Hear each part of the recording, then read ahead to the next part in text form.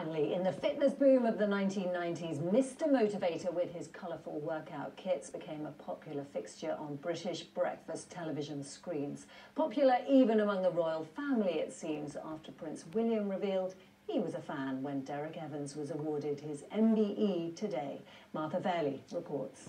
Derrick Evans for services to health and fitness. He's better known as Mr. Motivator, and apparently Prince William used to watch the workouts that have earned Derrick Evans an MBE. I thought it stands for motivated by exercise, but apparently it stands for something more than that. And you know what? It's a great honour to be given something, in particular because I'm doing what I love.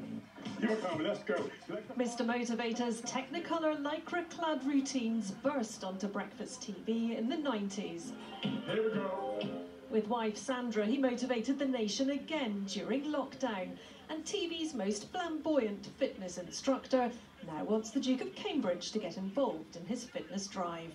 I then said to him, look, there's a strong relationship between what you have been pushing, which is all to do with mental fitness, and the physical side, and the two things need to merge more. And he said, yeah, that's something that we should definitely be looking at doing. And he, uh, I said, yeah, I'm looking forward to working with you to make that happen. He said, well, uh, do you expect me to wear a unitard? I says, well, so happens I have got one made up for you. He said, well, I think I'll leave that to you. I don't think I look as good as, as good as you in one. And so do you think we're going to be seeing a, a Mr. Motivator Prince William workout soon? You never know. What's this spot? Wouldn't that be a great one? William and Motivator. Motivated by exercise.